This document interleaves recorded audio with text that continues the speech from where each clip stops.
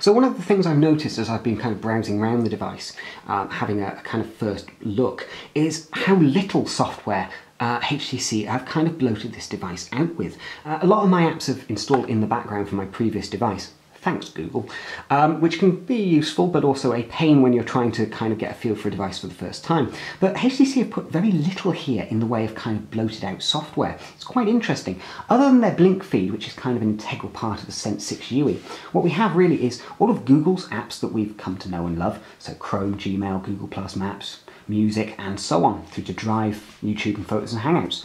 But software-wise, when we actually look in here, Ignore all of my apps that have unfortunately been installed, but really there's very little here from HTC other than this tool set.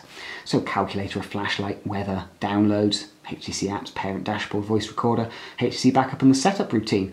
Um, things that we've seen on previous HTC devices and doesn't really appear to have changed that much.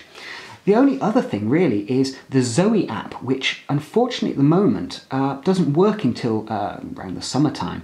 And that's kind of it. It's very, very slimmed down, um, which in many respects I really respect. There's not a huge amount here. Uh, I've noticed that obviously there's this the Fitbit option and kid mode, but some of these things like um, the kid mode we've seen this before and it ties in as uh, you know we've seen on previous HTC devices into the device that allows your kids just to use the apps you kind of want. We also have the car mode, the TV mode app there as well. The TV mode app is really useful. It uses the infrared blaster and it effectively allows you to control your television and your audio hi-fi equipment directly from your smartphone.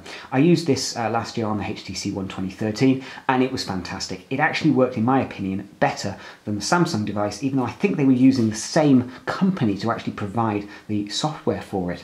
The other options there we have is media, and this kind of rounds up a few of the googly apps, as well as obviously HTC's own stuff. We have the camera and app in there, which is HTC's, HTC's music app, HTC's FM radio, 7 Digital, don't know why, that came with uh, HTC stuff last year, it wasn't very good. And then obviously just the googly stuff like newsstand, movies and TV and photos, as well as the Play Music app in there as well. We've also got stocks, the HTC guide, which gives you information about how HTC kind of work.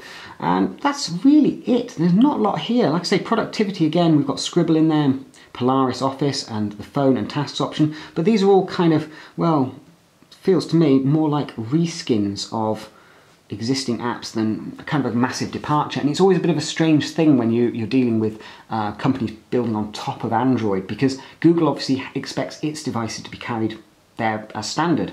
You're then kind of duplicating effort with the manufacturer, then producing its own versions of the apps that don't tie into Google services as such. Always a slightly confusing thing. The, like I say, this is the Zoe app, and this is really a kind of photo sharing app, um, which works with the Zoe software, as it were, on the phone. Although I think the idea is it now moves to a cloud-based system. And the idea there is to be able to share your photos online and so on. But unfortunately, it's not on the device as standard, and it won't be uh, launching, apparently, uh, oops, it won't be launching apparently until around June time, which is a bit of a shame. It would have been nice if they'd had this available for launch so we could check it out, but for now, it's a curiosity. So don't expect that particular app to do much of anything until June, I'm afraid. So software-wise, as I say, there's not a huge amount here to kind of crow about from HTC's point of view. But actually that in itself is something to crow about because Normally we expect these devices to come chock full of software. Most of the time we are never going to use and most of the time it doesn't work very well if we do try and use it.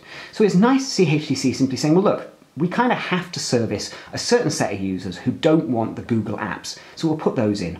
And then it's a case of, well okay, there's certain features that we kind of need because they're kind of important to make our phone work, like a camera app, etc., that is designed to work with the new hardware features. But overall here, it's very slim. And I like that. I like the option to choose what I want to install from which particular app developer, as opposed to kind of feeling, oh great, I've got this translation app built in, I'm not even going to use it. And more importantly, if I did want to use it, a translation, I wouldn't use that app anyway. I'd want to pick something myself. So it's really nice to have a cut down software suite here. Really nice, in fact. In many respects, it feels like HTC listened to the market and gave us what we were asking for choice. For watching. We hope you enjoyed this video. Do please remember to like and comment. And if you'd like to, please subscribe. You can also visit our website and download our Android app. If you do subscribe, you'll be getting a daily dose of the latest tech news, hardware reviews, Android games, consoles, and basically an honest opinion direct from the UK. Stay tuned, stay Androidizen.